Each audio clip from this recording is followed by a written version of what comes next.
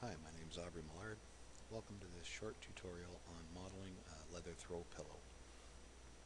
What you can see here is our final result and uh, what we're going for. Again, this is going to be a basic tutorial just covering the actual modeling. We're not going to get too much into uh, texturing and whatnot. So we'll begin, we'll reset our scene, and we're going to start by uh, drawing out a small box. Now it doesn't really matter what size it is, but I like to stick with real world dimensions just to make things easier. So for this, I'm going to draw out a box 12 inches by 12 inches by 4. Now once we have our box, I'm just going to stick this right back into the center of the world here. Once we have our box, we uh, need to give it some uh, segments. So we need quite a few segments to make things look a little more natural. So for this I'm going to give it 20 length segments, 20 width segments, and 10 height segments. Now you can play around with that a little bit, you know, reduce them if you want to reduce the number of polygons that it's going to have to draw when it's rendering. Now that we have our uh, box drawn out, we're going to uh, add a relax modifier onto it. So this is going to give us a soft shape. So for the relax value, put that as 1, and then iterations will uh, make that 10. And you can see the result from from doing that. So it's nice and rounded now, but it's uh, you know not really looking like a pillow. So what we want to do is we want to take these edges and we want to bring them bring them together a little bit to give it more of a pillow shape. So what we'll do is we're going to add a FFD modifier on top of this. So pick FFD box. Now we want to set the number of points because what we have there isn't quite what we want. So for this, just set six length segments, six width segments, and just three height segments. Silly OK. So now what we're going to do is we're going to pinch these edges in. So first, marquee select, oops, oh, I forgot, select control points, and then marquee select the outer edges here and then bring them down. So you can see how on the outer edges it's pinching them in. To about there. And then select the other outer edges and bring them up to about there.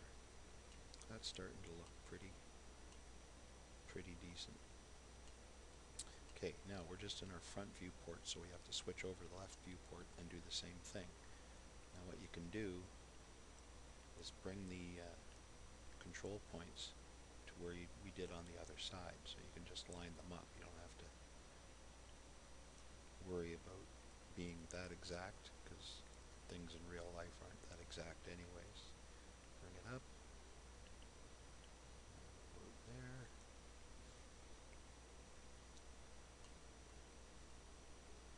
switch back to the front. Now you can see how it's got a bit of a dip in here. So we're going to take that out. We're going to give it a more rounded appearance. So the next set of control points on the inner side, marquee select those, and we'll bring those down. You can see how it's giving us a much nicer rounded pillow shape. And then we'll do that on the bottom Bring those up. Oh, that's not bad. Again, we'll switch viewports into the left viewport. And again, we're going to do the same thing.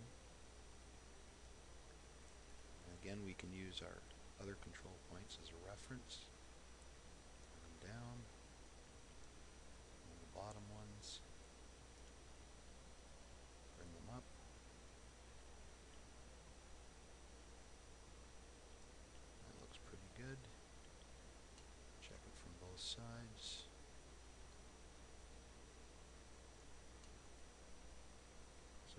See, we're starting to get a nice pillow shape now. And that's looking not too, too bad. If you want to make any fine adjustments, you just pick the control point and it'll allow you to modify it a little bit here and there. You know, just for whatever you like. Okay, it's all personal preference. Now, once we've got to this point, we're pretty much finished modeling the actual pillow itself. So what we're going to do is we're going to go in and we're going to collapse their stack. Okay, now you can see how it's, you know, the geometry is kind of showing through and it doesn't look very smooth, but we'll take care of that in a minute. Now, we've got an editable mesh. Convert that to an editable poly. And we're going to turn on edged faces, F4, and then select edge. Now we're going to come down and we're going to go to the very center edge, right here. And then go down and see a C loop. And you can see how we've now created a loop with that edge all the way around. Now once you've got that, scroll down until you see create shape from selection because we want to create that nice ridged bead you see on uh, some of the leather pillows. So click that, give it whatever uh, name you want, and then leave it as type smooth. You can go linear, but we want it uh, we want it nice and smooth. Click OK. Now what we want to do is just hide our pillow for a second so that we can see uh, what we're doing. So go hide selection and there. We're left with our editable spline. Now this is really simple. All you do is under the rendering, click enable and render, enable and viewport, and boom, we have a nice edge. Now that's a little big. So right now it's set to one inch, which is one unit, and I'm going to drop it down to about a quarter of an inch. That looks a lot better. You can up the sides if you want more detail, but I don't really think it's necessary in a model like this. So now that we've uh, got our edge, go back and unhide all. Turn off our edged faces, and there, we've got a nice, we've got a nice bead running around our pillow.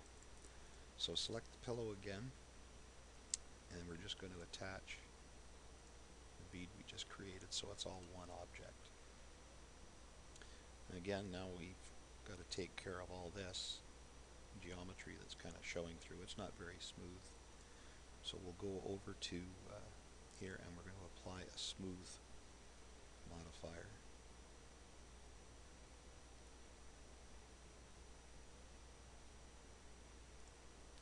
Now, you ooh, you think that looks kind of ugly. Don't don't worry, just click auto smooth and there. We've got it all nice and smoothed out the way that we want. So that's not looking too too bad actually. That looks that looks pretty good. Alright, I'll just we'll throw a basic texture on it. Just a standard texture is fine for now. In the diffuse channel, click that little button so that we bring up a bitmap. Now in the arch arch architectural materials, scroll down until you find a nice leather texture.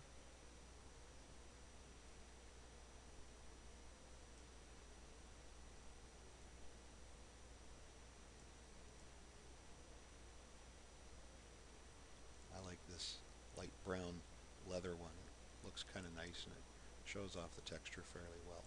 So we select that.